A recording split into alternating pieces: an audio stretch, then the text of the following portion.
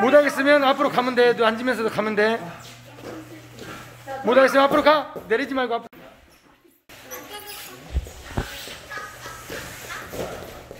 하나, 열 둘, 열 셋, 열 넷, 열 다, 열여, 열일곱, 열여덟, 열아홉, 스물, 스물하나, 스물둘, 스물셋, 왜 스물넷, 스물다섯, 스물여섯, 놀래? 하나, 산둘, 산셋, 산넷, 산다섯, 산여섯, 산일곱.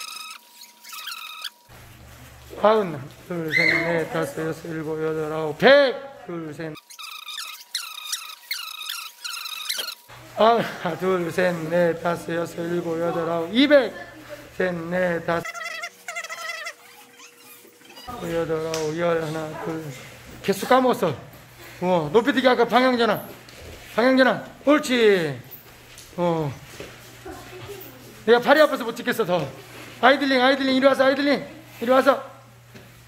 아이들링, 호핑 거 아이들링. 자, 아이들링 하나, 둘, 셋, 넷, 다섯, 여섯, 일곱, 여덟, 아홉.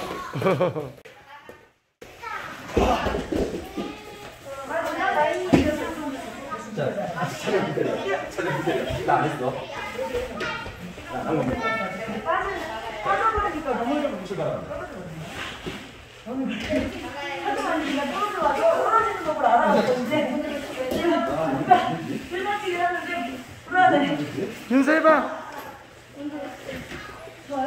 응? 아, 손 놓고 하기.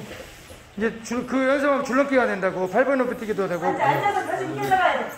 인사 이미 다리 떨어지고 있고 이미 밸런스가 무너지고 있기 때문에 손을 잡고 앉아서 계속 못 버텨요. 내가 앞에서 못 보여.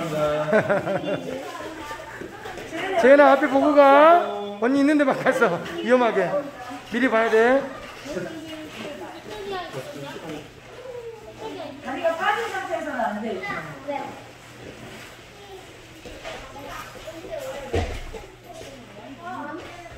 연습하면 돼. 이제 연습해봐.